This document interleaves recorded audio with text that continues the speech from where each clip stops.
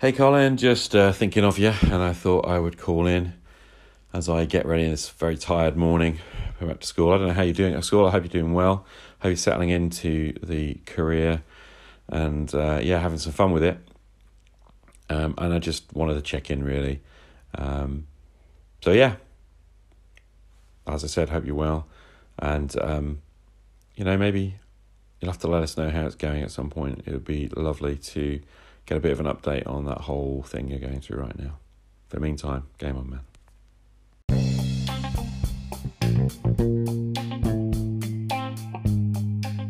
Hello, I'm Colin Green, and you are listening to Spike Pit. Dude, Colin, I have such mixed feelings about your reading. On one hand, I absolutely love them, but on the other hand, I get so sad every time you finish. You start reading and I get so invested and then it's over. I'm like, no! These your readings are my first and only and possible ever exposure to the fighting fantasy books and I I just think they're fantastic, man. They get me pumped. I get why so many people like them. Back when I was a kid, you know, in the 80s when I could still uh, read physical books, we had the choose your own adventure books which were cool and I loved them, but they didn't have dice or paper involved. So, yeah, these these fighting fantasy books get me pumped. I, I, really like the fact that in a couple of your readings, the adventure starts with like a challenge, you know, the heroes going off to fanfare and everything. I've never started a campaign like that. It's pretty interesting. Peace out. Hi, Colin. Yvon here. Um, yeah, we're in lockdown again. So I've uh, taken the opportunity to catch up on a lot of your podcasts. Uh, and I really wanted to thank you for going over the old fighting fantasy uh, books. Um, I've been enjoying uh, your readings of them, um, and it's inspired me to get back into collecting the, what I, you know, all my other books that I'm missing. And I'm sure it's inspiring other people too. And I'd really like to hear more about um, your teaching and your uh, what's happening with you with um, you know your other endeavors. Uh, thanks again. I'll talk to you soon. A big thanks to our callers then with their well wishes and enthusiasm and support for my readings of fighting fantasy. They uh, were cut off in their prime. I'd intended to do some more fighting fantasy readings. It will hopefully be something I'll come back to. But yeah, we heard from Che, Yvon, and Joe. It's um, really the, these types of call ins, as I've said many times before, that keep me coming back and by way of some sort of explanation and to, to answer these callers, I recorded a segment earlier on explaining what I've been up to. So Take it away, Mr. Green. Yes, folks, back on the mic. Just a quick one. Um, deeply immersed in my new identity as Mr. Green. uh, it takes a little bit of getting used to. The routine is uh, very different to my former routine, and apparently my, well, my wife reliably informs me that I seem happier than I have seemed for a long time. Uh, um, sometimes other people have got a, a, better read on things like that, and um, I've no reason to doubt my wife. It, it's funny because I felt like I was fine, but guess there was some room for improvement. As busy as I am, it is super rewarding. it's I'm only six weeks in. Uh, I, I know it's very early in my career, but already had some great days, some great moments with the kids. Uh, a most recent example, a story I can tell you is after an assessment, doing some practical, a uh, little bit of basic metalworking, teaching the kids how to use some uh, computer aided design software to to print their designs on a laser cutter, and uh, the idea being just to get them into the into the process. We did some theory about design work, and it was a four five week block, and, and at the end, we were just going down through the register as kids were writing up their evaluations, calling them up, and being able to tell some of the, the pupils that had um, been previously graded a little bit low to in perhaps their more academic subjects or traditionally academic subjects to tell them that they had jumped up a couple of grades with their practical work and their their their design and their their metalworking project to tell them that they had achieved and to watch them as you explain in how well they'd done to see the the growing smile some of the kids actually kind of jumped with joy as they'd kind of been bumped up a couple of grades with their achievement. On the other hand, it was quite it was quite hard to mark down.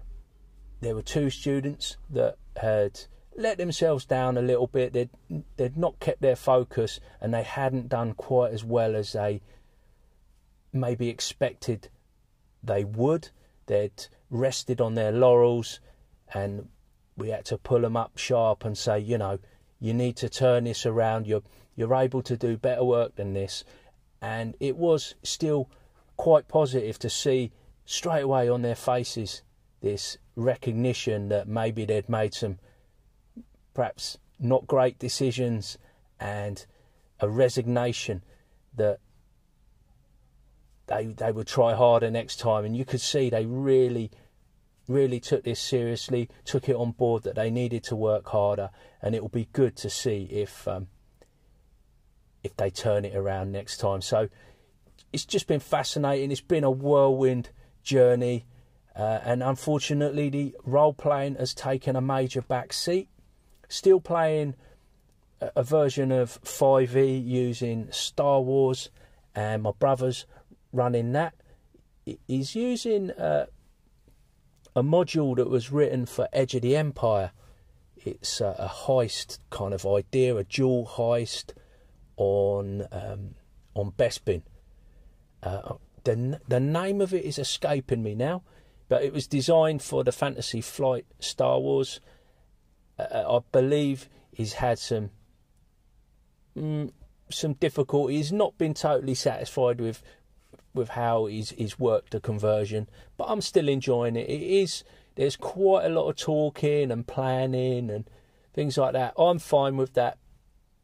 Perhaps my my youngest son, mm, not so much, but you know it's different. It's a different style of play. We're trying something different, and and you've got to do that. You've got to try different things.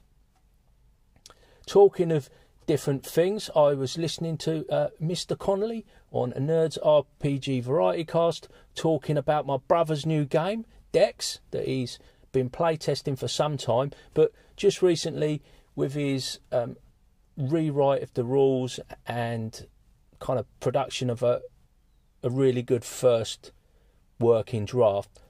Uh, he's been getting in some more playtesting. I heard that's been going well. Now, if you're interested in that, look him up. It's RFED, or you can get in touch with me and I can put you in touch with him. But he's on various different discords. You can get to him via my Patreon, uh, Spike Pit Patreon, or you can jump on the Audio Dungeon Discord, catch up with him there, register your interest, and I'm I'm sure he'll um, get you involved. You can find out more about it by listening to Jason's fairly recent episode where he talks about playing Dex and he, he gives a, a good summary of the rules there.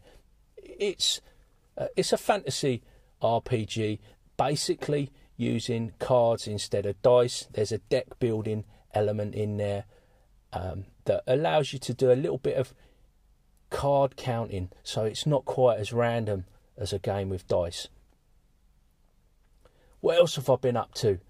Um, well, not a lot, honestly, but I have listened to some quite interesting podcasts. One of them is the most recent episode of Designed for Life. It's got a board game designer. He's a, he started out as an industrial designer and worked for Hasbro at one point, putting games together. There's some really good insight in there, and I found it interesting. It's it's got you know, if you've got any aspirations for doing a bit of design or you're interested in the process of how games are made and come into being, it's it's a good less uh, it's a good listen, about an hour long, uh, and I I can heartily recommend it.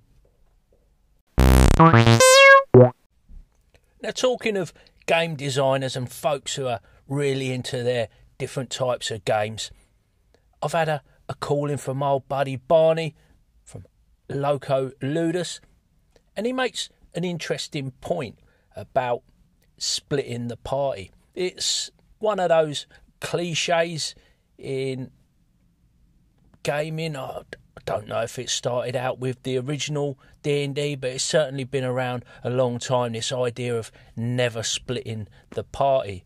Uh, invariably, parties get split all the time, and Barney's got some thoughts on this one. I'm gonna play out with Barney's message, but I would add at one stage there he's talking about group rolls and, and checks. And I just wanted to mention that I actually use group rolls when I'm running 5e quite a lot.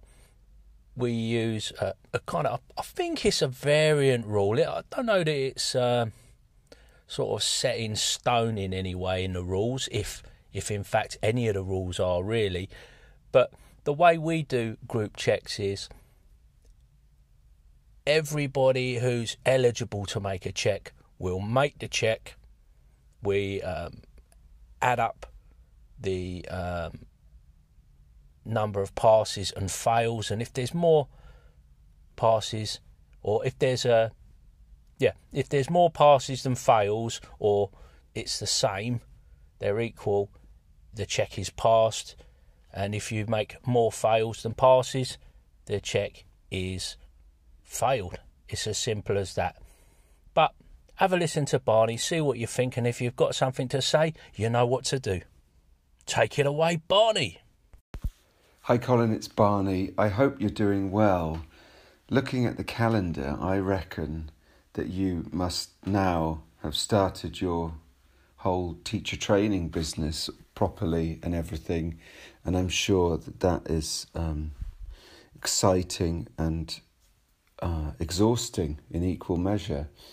For me, the, the, the school year started quite quite well actually, and I'm really trying to enjoy it, um, and that's going fine. And um, yeah, I don't know. I I think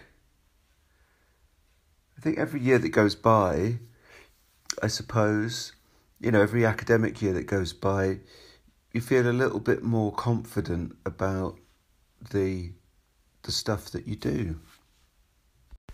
But of course, the real reason I'm calling is to do with the glorious gaming hobby that we that we have.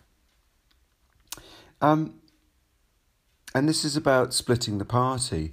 You know that I love splitting the party. I've got no problems with that whatsoever. I think it's I think it's optimal fun for for players as much as GMs. I th- really think splitting the party is is gold. It's treasure.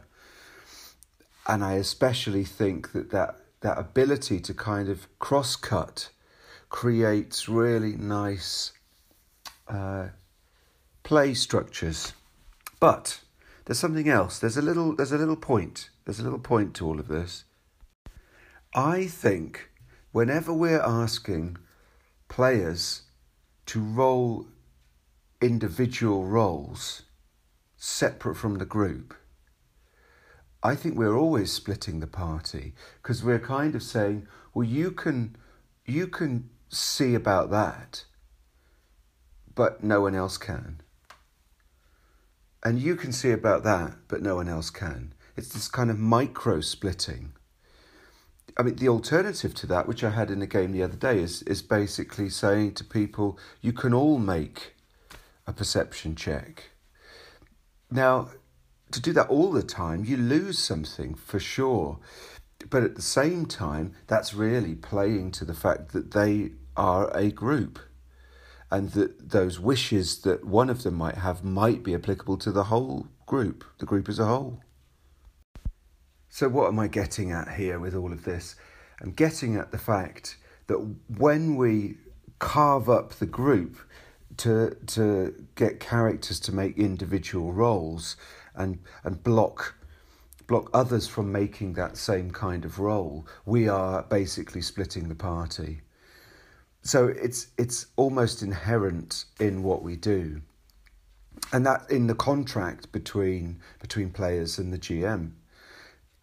So either we could we could put we could have the possibility to to push further into a kind of group think group activity or we can also just push and push and and split and split and split and do that at more and more distance if you like with more and more detail that's all i think see you bye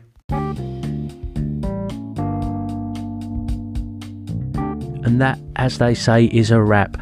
Big thanks goes out to you, the listener, for taking a bit of time out of your day to listen to old Spike Pit. Take care, and I'll catch you later.